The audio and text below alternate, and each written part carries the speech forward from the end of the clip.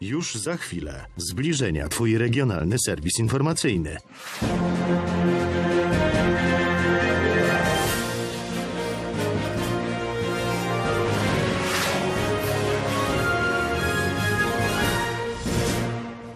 Jarosław Lewandowski, witam Państwa i zapraszam na główne wydanie zbliżeń. A zaczynamy od planów budowy drogi ekspresowej S10. Dotychczas była kręta i niebezpieczna. Po rozbudowie ma usprawnić komunikację między dwoma największymi miastami województwa i poprawić bezpieczeństwo.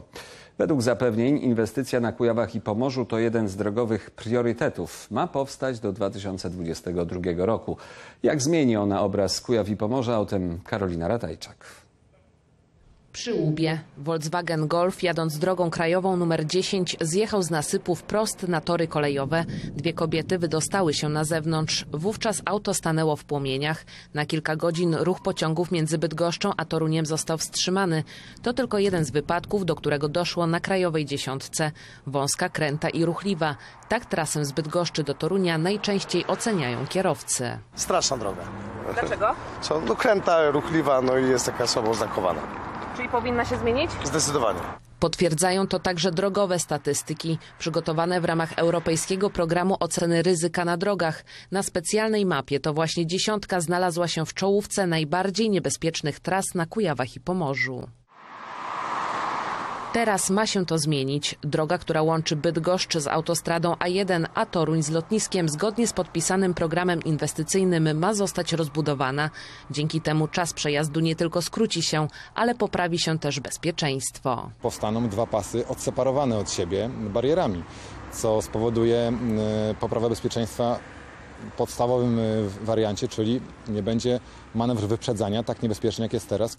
A na tej trasie ruch jest coraz większy. Według danych Generalnej Dyrekcji Dróg Krajowych i Autostrad w 2000 roku każdego dnia tą drogą przejeżdżało ponad 7 tysięcy samochodów. W ciągu 15 lat ta liczba wzrosła niemal dwukrotnie. Jedną z przyczyn jest rozwój gospodarczy dwóch największych miast w województwie. Nowa trasa mogłaby oznaczać szersze możliwości dla przedsiębiorców, twierdzą specjaliści. Myślę, że element budowy drogi może spowodować e, e, zacieśnienie kontaktów, szczególnie gospodarczych. Ponieważ te kontakty i tak funkcjonują, bo my nie bawimy się w spory polityczne, natomiast e, jak ktoś kiedyś powiedział, pieniądz nie zna granic. Wiceminister infrastruktury i budownictwa zapewnił, że plany budowy ekspresowej dziesiątki nie pozostaną jedynie na papierze. Nowa trasa między Bydgoszczą a Toruniem ma otworzyć drogę do lepszej współpracy w ramach całego województwa. Jesteśmy między dwoma dużymi aglomeracjami, między dużymi metropoliami, które chcą się rozwijać, które mają ogromny potencjał i przemysłowy, i intelektualny, i, i, i, i kulturalny. Więc e, tu jest, e, tu musimy zapewnić komunikację, bo to będzie bardzo istotne dla całego regionu, ale tak jak podkreślam, dla całej Polski. Prace przygotowawcze potrwają do 2018 roku. Cztery lata później pierwsze samochody mają przejechać nową 50-kilometrową trasą ekspresową. Bydgoszcz, Karolina Ratajczak. Więcej o planach budowy drogi w cyklu w zbliżeniu w specjalnej rozmowie z wiceministrem Jerzym Schmidtem. Początek zaraz po tym wydaniu zbliżenia.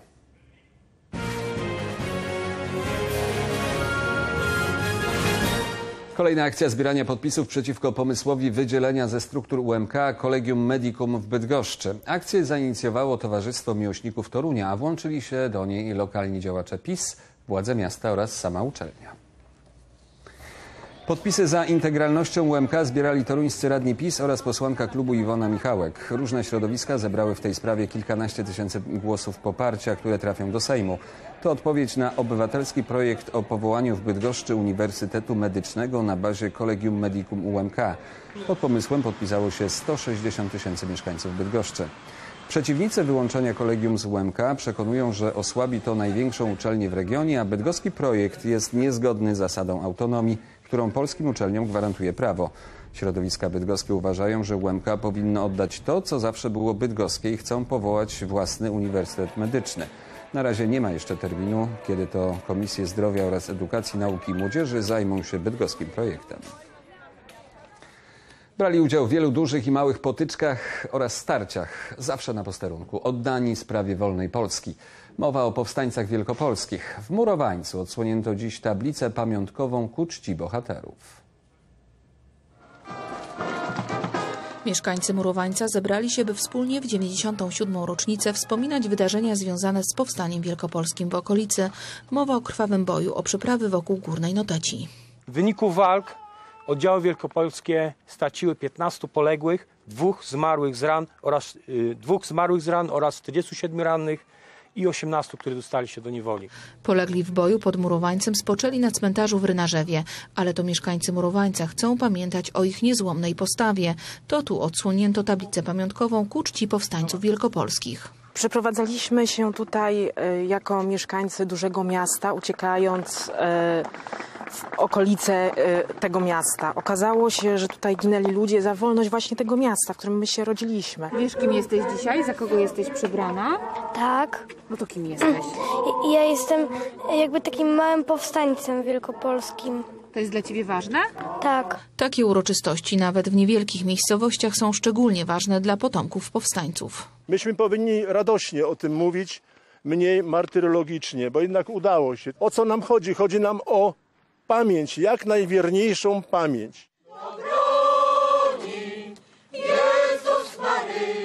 Murowaniec Monika Kamińska. Jubileuszowe 20 nagrody imienia Bogumiła Samuela Lindego wręczone. Tegoroczne wyróżnienie miast partnerskich Torunia i Getyngi otrzymali niemiecki poeta Jan Wagner oraz polski eseista Kazimierz Brakoniecki. Tym razem wręczenie nagród odbyło się w Getyndze. Literackie wyróżnienie miast partnerskich laureaci otrzymali z rąk prezydenta Torunia Michała Zaleskiego oraz nadburmistrza Getyngi Rolfa Georga Kellera.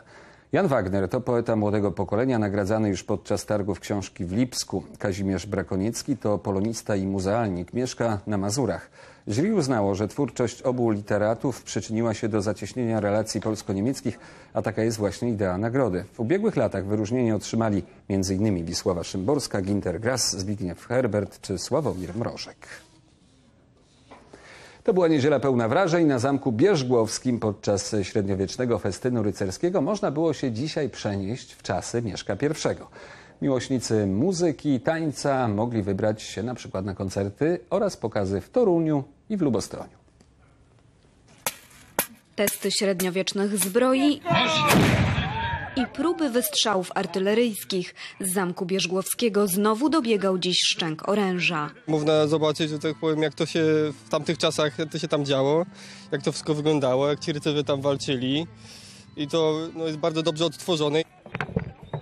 Średniowieczny festyn rycerski odbył się pod hasłem od 1966 do 1466 roku 500 lat historii państwa polskiego. Rekonstruktorzy odtwarzali w 1050. rocznicę chrzest Polski, bitwę pod Grunwaldem oraz drugi pokój toruński. Wszystko w cieniu dawnej warowni krzyżackiej. To jest obiekt, który przez kilkanaście la- lat był e, pięknie restaurowany. Teraz ma pełnię blasku, można powiedzieć. To jest wspaniałe miejsce do organizowania wydarzeń powiązanych e, głęboko z historią. Rycerze do walki muszą mieć siłę, dlatego na zamku nie mogło zabraknąć pysznego jadła i miejsca do regeneracji sił. I okrzyk!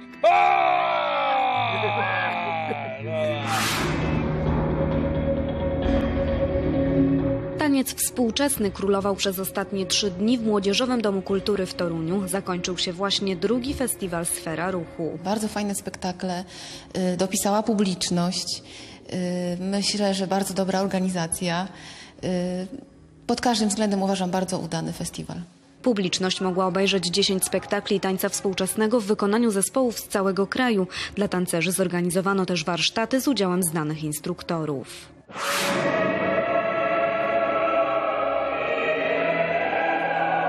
Rozpoczął się czwarty międzynarodowy konkurs i festiwal churalny imienia Mikołaja Kopernika per Musicam ad Astra. Do 24 czerwca muzyka churalna będzie rozbrzmiewała w Toruniu, w Chełmży i w Inowrocławiu. W czasie festiwalu wystąpi 13 chórów i zespołów wokalnych z Polski, Szwecji, Finlandii czy Niemiec. Koncert inauguracyjny odbył się w kościele Najświętszej Marii Panny w Toruniu. Na wszystkie wydarzenia festiwalowe wstęp jest wolny. Wejściówki na imprezy w Toruniu można odbierać w dworze Artusa. Piękne damy, bryczki i konie to znak, że po raz kolejny w Lubostroniu odbywa się konkurs pojazdów konnych. To jest dzisiaj 22 spotkanie właśnie takich amatorów, y, ludzi właściwie wspaniałych, hobbystów, ludzi też, którzy w sercu mają właśnie tą tradycję i, i, i, i tą kulturę i chcą to, chcą to pokazać. A podziwiać było co, bryczki zachwycały chyba każdego, a konie rwały się również do tańca. gdzie można zobaczyć w Polsce e, poloneza wykonanego przez e, kilkadziesiąt koni. To jest e, piękne, wspaniałe, a do tego szczęście zawsze mają e, organizatorzy, bo jest piękna pogoda. Imprezie towarzyszyła orkiestra Denta OSP z Koronowa. Wymyślono ją w Indiach, ale popularność zdobyła na całym świecie, także w Polsce. 21 czerwca obchodzimy Międzynarodowy Dzień Jogi. Już dziś jogini spotkali się w Centrum Sztuki Współczesnej w Toruniu. Nie na sali gimnastycznej ani w parku, a na dachu Centrum Sztuki Współczesnej w Toruniu zorganizowano obchody Międzynarodowego Dnia Jogi. We wspólnych ćwiczeniach wzięło udział kilkadziesiąt osób w różnym wieku. Jest piękny dzień. Ale zawsze to ja, ma- ja mam takie odczucie, że zawsze po, po właśnie praktyce jogi słońce świeci mocniej i, i dzień jest piękniejszy, więc wpisuje się to w to, czego zazwy- zazwyczaj doświadczamy. Bo yoga to filozofia życia, przekonują jej pasjonaci. Uprawiać może ją każdy, dorośli, dzieci czy kobiety w ciąży. Nie trzeba być wyjątkowo sprawnym, wystarczy chcieć świadomie żyć. Jeśli coś jem, to chcę wiedzieć, jak to smakuje. Jeśli oddycham, to chcę wiedzieć, jak to powietrze przepływa przeze mnie. Jeśli ćwiczę, to chcę poczuć każdy centymetr swojego ciała. Jeśli czytam o czymś, to jestem tam. Czyli w każdym momencie oddaję się całkowicie teraźniejszości. Pozwala łagodzić stresy i studzić emocje, ale wpływa też na kondycję fizyczną i odporność organizmu. Jogini nie skarżą się na problemy ze zdrowiem. Zaczęłam ćwiczyć jogę z powodu spięć, które tworzyły mi się w, do, w, górze, w górze pleców, w klatce piersiowej. To jest takie bardzo stresowe miejsce. E, Kiedy zaczęłam ćwiczyć regularnie, wszystko puściło. Sesja na dachu CSW to początek całego festiwalu jogi. Od 2 do 6 lipca będzie można wziąć udział w unikalnych warsztatach z guru jogi. Do Torunia przyjedzie sam Chandra Bandari. Plastikowe butelki, taśma klejąca i trochę inwencji. Tyle wystarczy, by stworzyć niezwykłe jednostki pływające. Udowodnili to uczestnicy wyścigu łodzi butelkowych na Brdzie. To jedna z atrakcji imprezy Ster na Bydgoszcz, która przyciągnęła tłumy mieszkańców i turystów. Bardzo zacięta walka. Na początku mocno poszło, później trochę zwolniliśmy, ale jak, ale jak zobaczyliśmy krainę czarteru, jak się do nas zbliża, to już trzeba było dać jeszcze raz mocno. Planowaliśmy trzy albo cztery, ale z czasu mieliśmy tylko na jeden i tylko troszeczkę, no przez pół godziny i tylko tyle. Fajnie było. Nie. Ale nie udało się zwyciężyć. Czy to ważne? Byle dopłynąć, byle się nie rozleciało. Drużyna, która zajęła pierwsze miejsce, od początku prowadziła, mieli genialnie wybalansowaną łódkę. Wszystko działo się tak właściwie jak na prawdziwej jednostce pływającej. A pamiętajmy, że przecież te jednostki to są łódki zrobione z butelek, z odpadów. Nie zawsze mamy takie doświadczenie, żeby je dobrze pozmontować, posklejać. Im się udało wyśmienicie. Tyle ster na Bydgoszcz, a teraz ster na sport i spotkanie z Mirosławem Wysockim. Witam. Dzień dobry, a dzisiaj niedziela, więc nieco więcej o sporcie. W Poznaniu rozegrano regaty wioślarskie w ramach Pucharu Świata. Bardzo dobrze zaprezentowały się wioślarki Lotto Bydgoszczy, Magdalena Fularczyk-Kozłowska i Natalia Madej, które zwyciężyły z ogromną przewagą w biegu dwójek podwójnych. Ten sukces każe nam wierzyć w to, że także w Rio de Janeiro będzie dobrze.